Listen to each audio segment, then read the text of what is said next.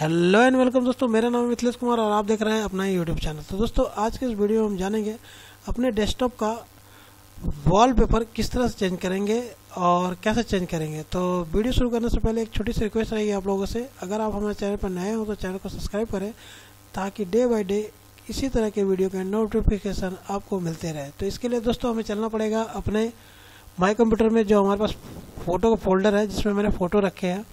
जैसे यहाँ पर पिक्चर का फोल्डर है, इस पर हम क्लिक करेंगे। क्लिक करने के बाद में यहाँ पर जो हमारा सिंपल पिक्चर का फोल्डर है, उस पर क्लिक करेंगे। क्लिक करने के बाद कोई भी जो हमें यहाँ पर वॉलपेपर रखना है अपने डेस्कटॉप या कंप्यूटर पर, उसको हम क्या करेंगे? यहाँ से राइट क्लिक करेंगे। राइट क्लिक करने के बाद यहाँ पर देख सकते हैं, आपको ऑप्शन आ रहा है सेट द डेस्कटॉप बैकग्राउंड तो इस पर हम क्लिक करेंगे लेफ़्ट क्लिक लेफ़्ट क्लिक करने के बाद आपका डेस्कटॉप का जो बैकग्राउंड हो, वो चेंज हो जाएगा। देख सकते हैं आप यहाँ पर ही डेस्कटॉप का जो अपना बैकग्राउंड था, वो चेंज हो चुका है। और फिर से इसे आपको नॉर्मल मोड में लाना है तो उसे नॉर्मल मोड में लाने के लिए आपको क्या करना है, अपना माउस का राइट क्लिक करना है।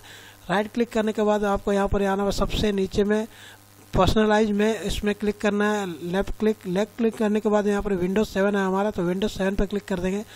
क्लिक करने के बाद सिंपली आपको यहाँ से कट करके बाहर आना और देख सकते हैं आपका फिर से जिस तरह का आपका डेस्कटॉप पर जो आपका विंडोज़ सेवन का पिक्चर था वो आ चुका है।